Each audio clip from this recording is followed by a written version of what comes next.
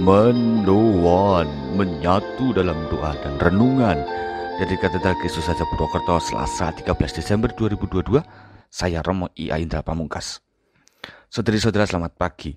Rahmat Tuhan kita Yesus Kristus menyertai kita dan mendayai kita dalam perjalanan hari ini. Semoga kita pun dipulihkan untuk selalu memperbarui diri. Kita renungkan awal hari ini dengan sabda Tuhan dari Injil Matius bab 21 ayat 28 sampai 32.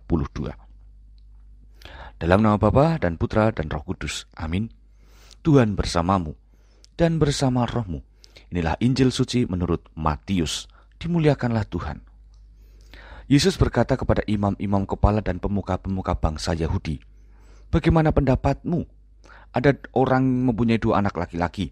Ia pergi kepada yang sulung dan berkata, Anakku, Pergilah bekerja di kebun anggur hari ini. Jawab anak itu, Baik Bapak, tetapi ia tidak pergi. Lalu orang itu pergi kepada anak yang kedua dan berkata, demikian juga. Lalu anak itu menjawab, tidak mau. Tetapi kemudian ia menyesal, lalu pergi juga. Siapakah di antara kedua orang anak itu yang melakukan kehendak ayahnya? Mereka menjawab, yang kedua. Maka berkatalah Yesus kepada mereka, Aku berkata kepadamu, Sesungguhnya pemungut-pemungut cukai dan pelacur-pelacur akan mendahului kalian masuk ke dalam kerajaan Allah. Sebab Yohanes Pembaptis datang menunjukkan jalan kebenaran kepada kalian, dan kalian tidak percaya kepadanya. Dan meskipun kalian melihatnya, namun kemudian kalian tidak menyesal, dan kalian tidak juga percaya kepadanya.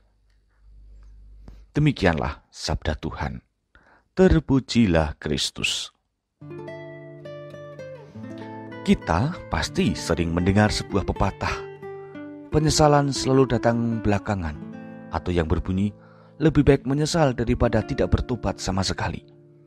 Saudari-saudara, kunci untuk mencapai pembaruan diri adalah penyesalan.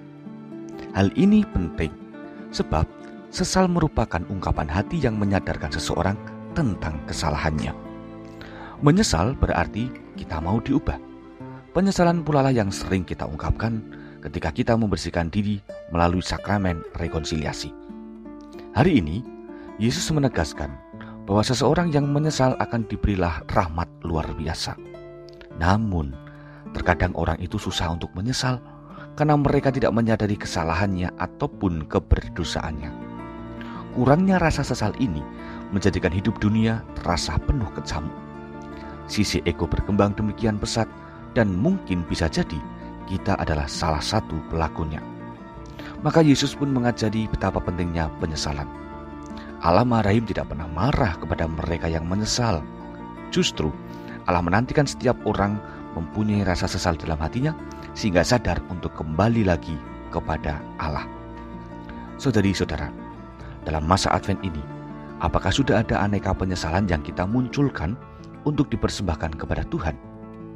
Orang yang menyesal berarti sedang memupuk, memupuk dirinya dalam kuasa kerendahan hati.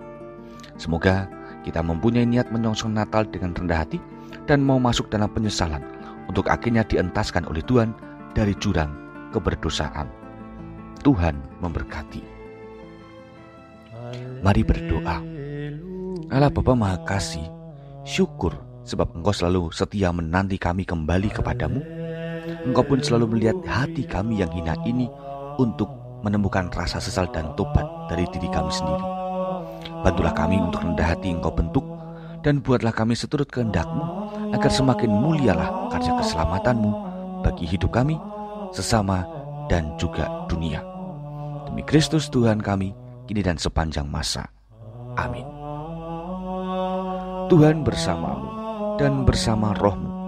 Kita semua keluarga kita, dan segala rencana kebaikan kita selalu dalam berkat Allah yang Maha Kuasa, Bapa, Putra, dan Roh Kudus. Amin. Saudari-saudara, selamat beraktivitas. Tuhan memberkati. Salam mendoan.